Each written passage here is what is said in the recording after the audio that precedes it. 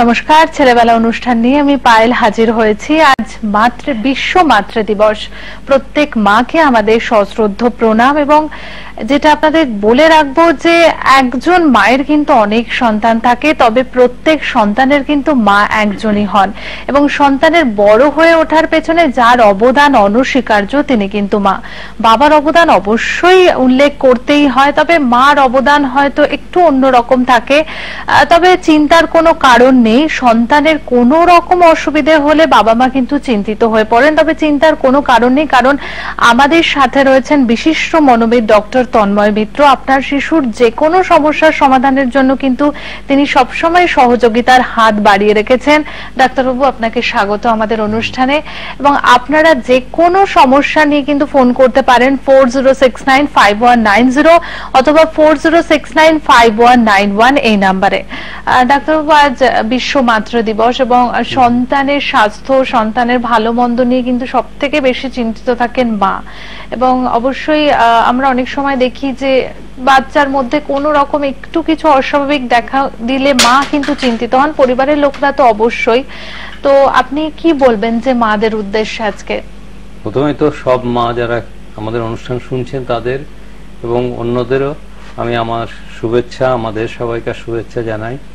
এবং মার আমরা তো সবাই জানি এবং যে মার যে জীবনে বেড়ে ওঠার পক্ষে একটা শিশুর থেকে বোধহয় জন্মের থেকে শুরু হয় তারপর বোধহয় কোনোদিনই সেই মার যে ভূমিকা মার যে মানে মার বিকল্প কিছু হতে পারে বিকল্প তার তো কোনো কিছুই হয় না। আমরা এখন অনেক বড় হয়ে যাই তখনও কিন্তু সেই মাথার উপরে ছায়ার মতো মার কথা আমাদের মনে পড়ে মার কথা আমরা ভাবি। মার কাছে ফিরে যেতে পারলে মনে হয় যে মনে খুব শান্তি পাই। কাজে এই জায়গাটা খুব ভীষণ ভীষণ আমার মনে হয় যে আজকের দিনে খুব ইম্পর্টেন্ট ব্যাপার এবং আজকের দিনে যে বাচ্চারা বড় হয়ে উঠছে তারা কিন্তু অনেক সময় মাকে কাছে পাচ্ছে আবার কিছু কিছু সময় কিন্তু পায়ও না। সেই জন্য কিন্তু এই দুটো দিক আছে যে মারাও কিন্তু অনেক সময় এখনকার দিনের যে সমস্যা যে অন্যরকম আর্থ সামাজিক বলি আমরা পড়াশোনার দিকে বলি এই যে সব সমস্যাগুলোর জায়গাগুলো থেকে মারাও কিন্তু অনেক সময় একটু কনফিউজড হয়ে যান যে কি করা উচিত। আমাদের এই অনুষ্ঠানে আমরা অনেক সময় বাচ্চাদের নানা অসুবিধার কথা নিয়ে আলোচনা করেছি আরও করব। আমি চাইব যে সবাই যদি পারেন এখানে তাদের কিছু সমস্যার কথা বাচ্চাদের সমস্যার কথা আমাদের কাছে নিয়ে আসুন। একদমই। তাদের যে কোনো মানসিক সমস্যা যদি কিছু দেখছেন আচরণে পরিবর্তন হচ্ছে অবশ্যই আপনারা ফোন করতে পারেন আমাদেরকে এবং অন্যান্য দিনের মতন কিন্তু আজও আমাদের কাছে বেশ কিছু এসএমএস এসেছে এবং প্রথমেই যে এসএমএস নিয়ে আমরা আলোচনা করব যিনি পাঠিয়েছেন বয়স চার বছর কথা পরিষ্কার নয় বাকি সবকিছুই স্বাভাবিক। তো পরিবার আত্মীয় স্বজনরা যেটা জানাচ্ছে যে আস্তে আস্তে ঠিক হয়ে যাবে। তো উনি জানতে চাইছেন যে এটা কি আস্তে আস্তে ঠিক হয়ে যাওয়ার উপর ভরসা রাখা উচিত নাকি ডক্টরের কনসাল্ট করা উচিত উনি জানতে চাইছেন। আমি আশা করব যে চার বছর বয়স যখন হয়তো কোনো ডাক্তারকে দেখছেন তিনি চাইল্ড স্পেশালিস্ট হন বা অন্য কেউ হন নিশ্চয়ই হয়তো দেখছেন। চার বছর বয়সটা কথা পরিষ্কার দুরকম। একটা হচ্ছে কথা ঠিক সে বলছে না। আর একরকম হচ্ছে কথা পরিষ্কার হচ্ছে না। পরিষ্কার না হওয়াটা অনেক সময় বিভিন্ন কারণে হতে পারে। বাচ্চা অনেক সময় অনেক বাচ্চা একটু চঞ্চল বাচ্চা বা দুরন্ত বাচ্চা তাদের জন্য হতে পারে অনেক সময় যেটা আমরা বলি তোতলামির মতো ব্যাপার। স্টার্টারিং এর জন্য সেখান থেকে কিছু সময় অপরিষ্কার হয়। বাচ্চার যদি একটা নিজেকে একটু লুকিয়ে রাখা অর্থাৎ যদি একটা অ্যাংজাইটি বা সোশ্যাল অ্যাভয়েডেন্স যাকে বলি আমরা সেরকম থাকে যে বাচ্চা একটু নিজেকে গুটিয়ে রাখতে ভালোবাসে সেখান থেকে অনেক সময় কথা পরিষ্কার না হওয়ার ব্যাপার সেই জায়গাটাতে আসতে পারে।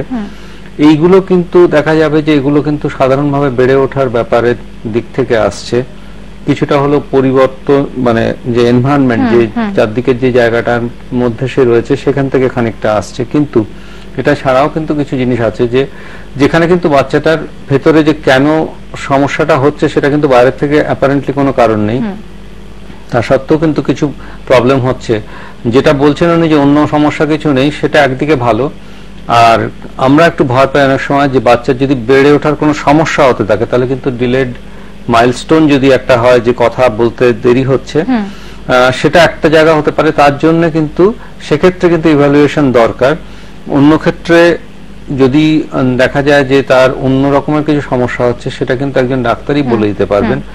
আর যে অন্য জায়গাগুলো যেগুলো যে মানসিক সমস্যার জায়গা থেকে নিজেকে লুকিয়ে রাখা বা এই কথার তোতলামির মতো ব্যাপারের জায়গা থেকে যদি হয় আহ, সেটা কিন্তু অনেক সময় যে মনোরোগের জায়গাটা সেই জায়গার যে বিশেষজ্ঞরা তাদের কাছে নিয়ে আসলে মনোবিশেষজ্ঞের কাছে নিয়ে আসলে সেটার একটা দেখিয়ে নিলে একটা সুবিধা মানে হতে হ্যাঁ পারে। একদমই কি কারণ থেকে এটা হচ্ছে সেটা হয়তো পরিবারের লোকদের কাছে স্পষ্ট হবে। হ্যাঁ হ্যাঁ। ডাক্তারবাবু একটা ছোট বয়সের পর পরিবারের যে আবহাওয়া সেটা বাচ্চারা বড় হয়ে ওঠে তারপরে স্টেজে কিন্তু স্কুল। এবং এই যে স্কুলে যাওয়ার আগে বা যে স্কুল স্টার্টিং হচ্ছে সেই সময় কিন্তু বাচ্চাদের মধ্যে বেশ কিছু সমস্যা দেখা যায় সবার মধ্যে হয়তো নয়। তো সেই ক্ষেত্রে কি কি সাবধানতা অবলম্বন করা যেতে পারে যে বা কোন কোন বিষয়গুলোর দিকে খেয়াল রাখা যেতে পারে যে বাচ্চা প্রথম স্কুলে যাচ্ছে তার আচরণে কি কি পরিবর্তন হলে সাবধানতা নিতে হবে সে বিষয়ে যদি কিছু বলেন। আচ্ছা এখনকার দিনে বাচ্চারা তো বড় হয়ে উঠছে একটা ছোট গন্ডির মধ্যে মানে হয়তো দেখা যাবে যে দু কামরা বা তিন কামরার মধ্যে বাচ্চাটা বড় হয়ে উঠছে ছোট বাড়িতে। বেশিরভাগ বাচ্চাই অনেক সময় সেরকম। এবার খুব ক্লোজ কন্ট্যাক্টে সব সময় তার চারদিকে বাবা মা বা যদি ভাই বোন কেউ থাকে তারা রয়েছে। স্কুলে যাওয়াটা কিছুটা হলেও কিন্তু সেই পরিবেশটার বাইরে এবং কিছুক্ষণ সময় সেখানে কাটাতে হবে।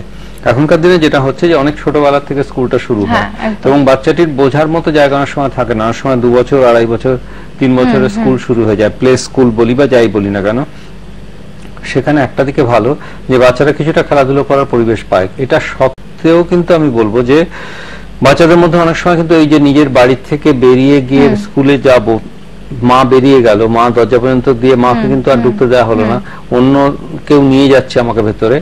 এইখান থেকে একটা আমরা যেটাকে বলি সেপারেশন অ্যাংজাইটি সেরকম কিন্তু একটা বাচ্চাদের অনেক সময় দেখা যায়। অর্থাৎ কোনো কারণ নেই কিন্তু ওই অপরিচিত জায়গা অপরিচিত পরিবেশে একটা ভয় তৈরি হওয়া। এই জায়গাটাকে কিন্তু আস্তে আস্তে প্রথম জায়গাটা আমার মনে হয় যে এইটা আমরা দেখতে পাই বাচ্চাদের মধ্যে যে একটা সেপারেশন অ্যাংজাইটি এবং তার থেকে বাচ্চারা ওই কান্নাকাটি করে উম, ছটফট করে হয়তো অন্য কিছুতে মনোযোগ দিতে চায় না বা টিচাররা বলেন যে ও কিন্তু এসে চুপ করে বসে আছে কোনো কিছুতে পার্টিসিপেট করছে না অন্যরা খেলছে কিন্তু ও খেলছে না বা কিছু। এই ধরনের জায়গাগুলো সেখান থেকে আসে।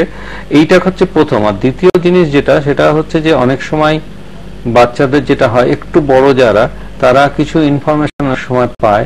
স্কুলটা খুব আনন্দের জায়গা নয়।